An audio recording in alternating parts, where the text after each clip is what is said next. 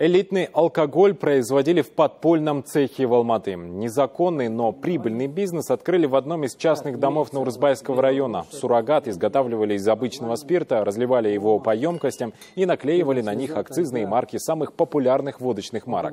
Изъяты были целых 500 бутылок контрафакта. Продукцию, по данным следствия, поставляли на прилавки магазинов города и области.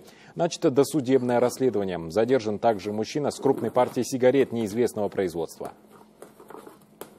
на территории города Алматы при получении денежных средств в размере 15 тысяч долларов США задержан гражданин М за реализацию неучтенной табачной продукции в парке марки ФАСТ в количестве 90 коробок, это 45 тысяч сигарет. В настоящее время по данному факту возбуждено уголовное дело по статье 214, это незаконное предпринимательство. Дело находится в производстве.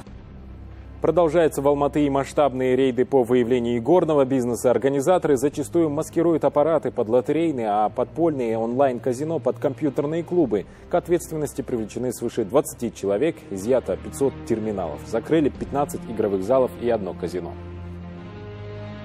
Если мы сейчас это пресечем, то и у нас снижение будет э, э, преступностей э, это уголовно общих наказуемых деяний, такие как кража, грабежи, разбои и так далее. Почему? Потому что любой человек, который азартен, он будет проигрывать, будет искать в поисках деньги, который приведет к негативным последствиям.